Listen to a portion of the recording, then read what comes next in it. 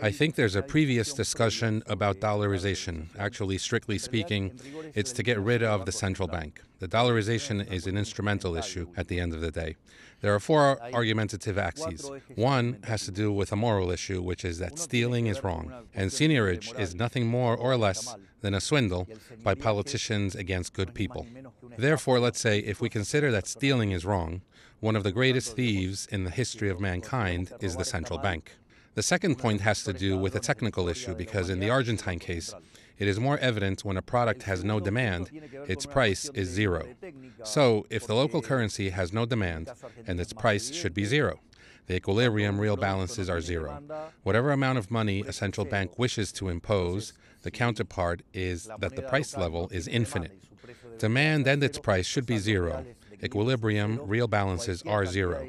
Whatever amount of money a central bank wants to impose, the flip side is that the price level has infinity.